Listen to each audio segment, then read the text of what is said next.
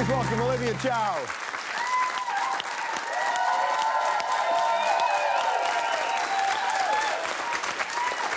Hello, how are, How are you? you? Nice to see Great. Welcome. Oh, Miss Olivia. How are you? How are you? Very well. Good, How good, have, you, good. have, you been? Good. Busy times? Mm, not particularly. No. Did, the I finished the book, that's why. when did you start the book? Oh, sometime last year, eh, May, June? May, June. May. What, why the timing of that? Um, after Jack passed away, um, people kept asking me, how did, you, how did you manage? How are you doing? Saw you, and I realized that I read some other books, Widow's book, that really helped me. So I started writing stories down, how I felt, and then before long, I got more and more writing done. Right.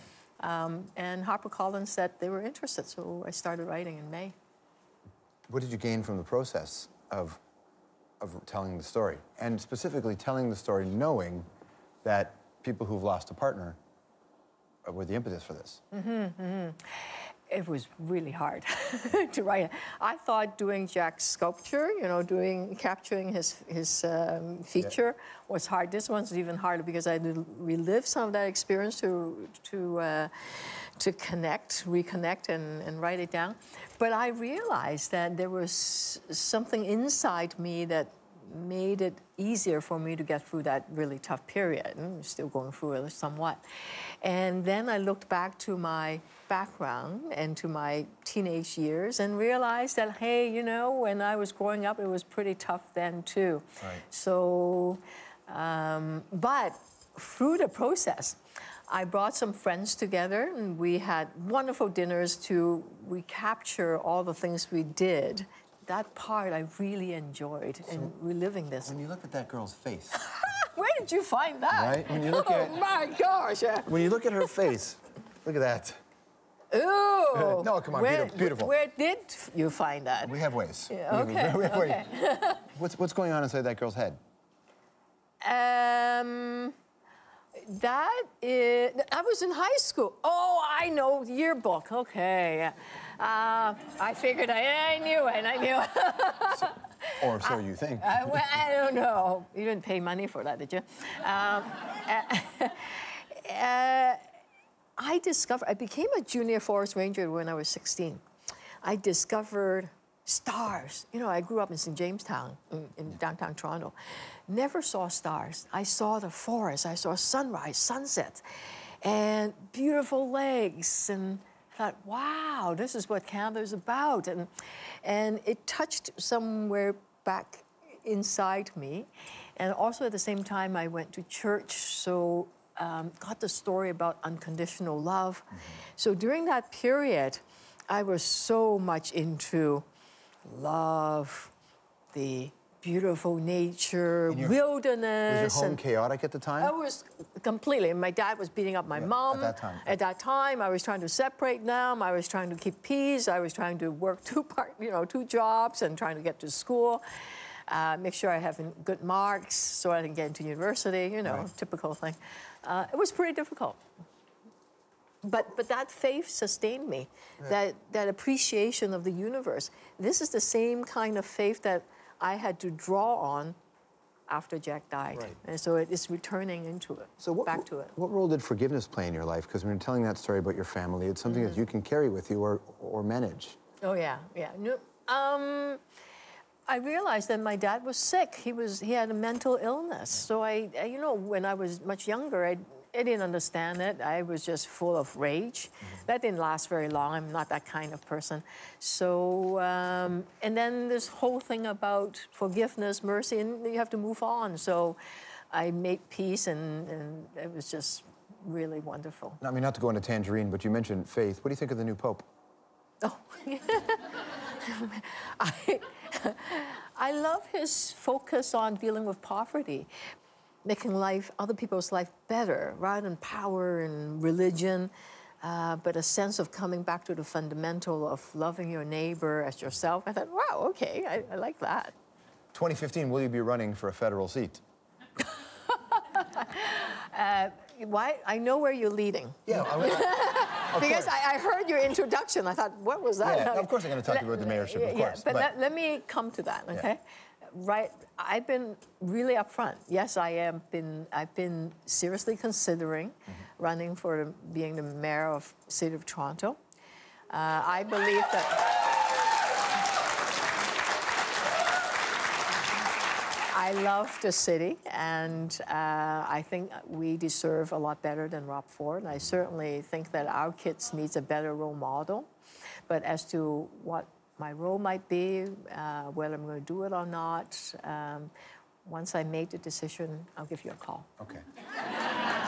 I, I appreciate that. Thank you. Can you call me first? Let's play a hypothetical game. If you were the mayor during the ice storm, Hypothetical? well I don't do that. Well, no, only because because part of it is understanding how you would deal with I, I big can issues. talk about the past, which is what the book is about. exactly. I'm talking know? about the past. It's hypothetical about the past. So Hypothetical about the past. a couple of weeks ago, which is technically the past, if you were the mayor during the ice storm, would you have called a state of emergency? I, I don't know. I, I don't know it's that. not as I, I wasn't. I, I, I didn't. Um, you know, I, I don't do hypothetical. One of the key things. Life is sometimes hypothetical. Eh, Well, no. One of the key things is this. I, I'm going to try to answer it this way. This is how I look at life. If you always think about, you know, I could think that, oh my God, there's all this time that I can't share with Jack because he's not there anymore in, in the House of Commons, right? To, to, to imagine what I'm missing. But if I look at what I have now, live by the moment, live every moment to the fullest, right? Then the past can become beautiful memories. Amen. I'm with you. Stick around more with Ms. Olivia Chow right after this.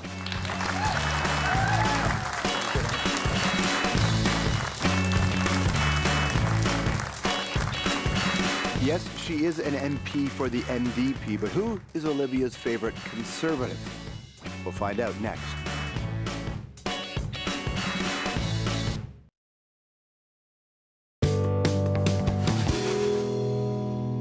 佢要有啲咩條件先可以參加呢啲咁樣嘅活動？誒冇乜條，你只要有心係想幫人或者自己想學下嘢，想識多幾個朋友就已經可以嚟參加㗎啦。誒、無論你年紀或者你有教程度都可以。最緊要係有時間同埋有啲咁嘅心思有去做呢咁嘅心種工作係。啊。Here we go, the 80s, the early 80s, 80s, 1980, yeah. 1980. yeah. with Olivia I was Chow. pretty young, yes. And you were talking about volunteerism. That's right. According to Stats Canada, I think the number is around 13, 13.3 million maybe of Canadians who are involved in some form of volunteerism. I know that Governor General David Johnston has the My Giving Moment. And volunteerism is a huge part of that. We hear a lot about it. Do you think people fully comprehend how important it is? And- and I think so. I think so. Um, I was working at Wood Green Community Center, and I had a huge group of volunteers. So I was on TV saying, more, more, more, more people come and volunteer, lots of fun.